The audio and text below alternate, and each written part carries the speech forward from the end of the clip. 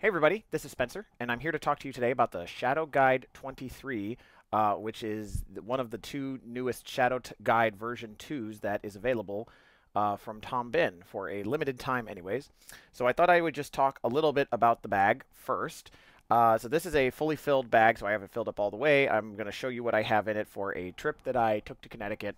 Uh, but first, just some details. So first of all, we have down here the uh, 1050 uh, ballistic nylon bottom, and then a 525 ballistic nylon uh, uh, body.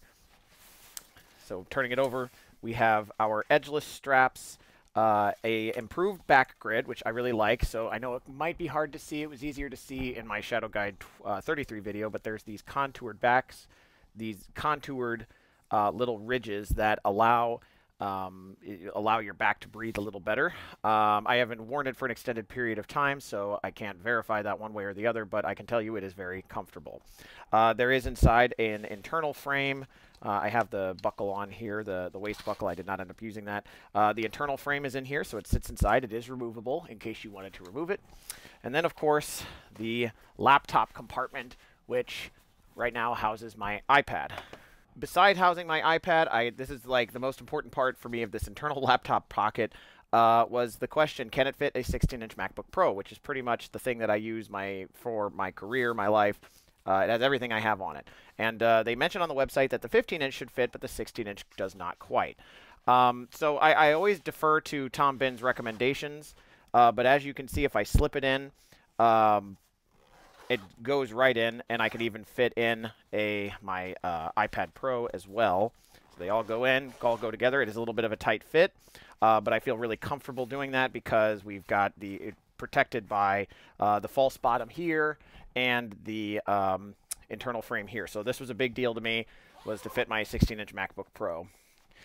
So let's crack open a bag and see what else we have. So right here at the top, we have this uh, top pocket that comes off like this, goes like that, and then you're able to get in the, the little cinch here that you're able to use to get inside of the bag. Um, for me, the top pocket, uh, they, they changed one thing from the uh, Guide's Pack, which is that the uh, zipper on the bottom, the zipper was on the bottom here to access this internal compartment. They changed it to the top, and as somebody who spends time on airplanes, or at least I used to, uh, although I got to recently, uh, can attest this is really handy for uh, being able to access things that uh, you need. Oh, there's the tag. I wanted, of course, to save that. Uh, so I have a little battery here that I use, uh, a handy little thing that has really just a bunch of wires in it. Uh, this is what I use to carry all my wires things. So put it in that one, and I love Solaris. And, of course, Bose headphones, which are really handy on a plane. Always nice. Let's put those in there. Um, all right, so zip this back up. A little bit of a, I think I've got it as filled as I'm comfortable with filling it. So there it goes. Not too tight a fit, but it does have to be arranged a little bit.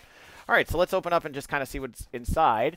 Um, you'll notice here that there are two pockets uh, that are kind of zipped. These are, they used to be sort of horizontal as opposed to vertical uh, if you're facing it from this perspective. These to be horizontal and mesh. Uh, I think these are more useful.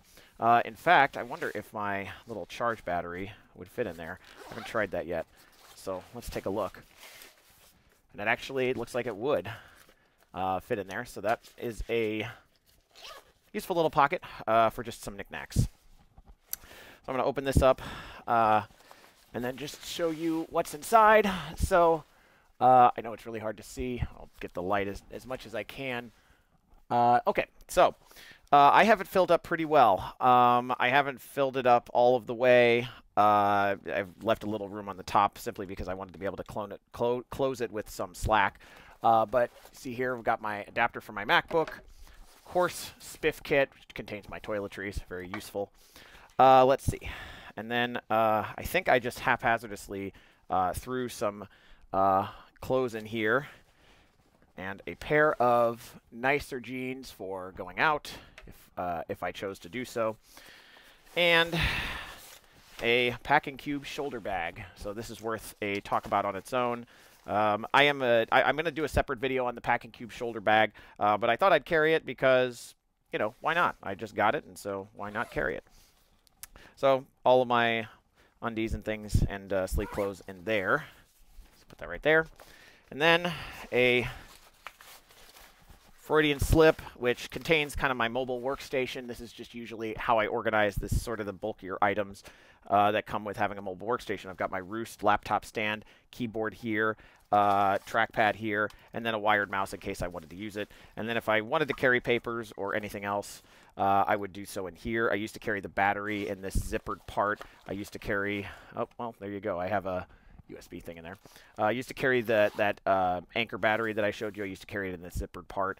Uh, and uh, so this is usually just how I organize, gives a, a tiny bit of, it provides a tiny bit of structure, but really just has a convenient place to hold it. It's really too big for that purpose, but that's how I use it. And then we have the bottom of the bag. The bag is empty.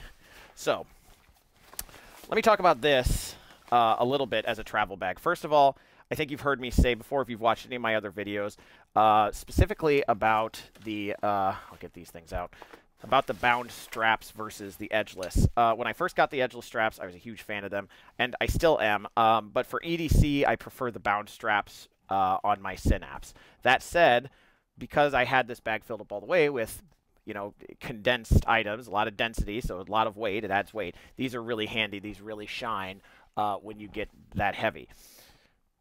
So, um, talking about this versus the 33, I'm going to go into this in further depth in my Shadow Guide 23 versus Shadow Guide 33 video. But suffice it to stay, say that uh, I think that this is really the ideal size for a Shadow Guide. I applaud um, Nick, Tom, Darcy, and all the crew there for uh, really thinking that you know a, a, smaller shadow guide would make sense, and it really does. I think that this size is perfect for you know uh, a few nights of travel. I could probably get away with even up to a week if I really tried hard.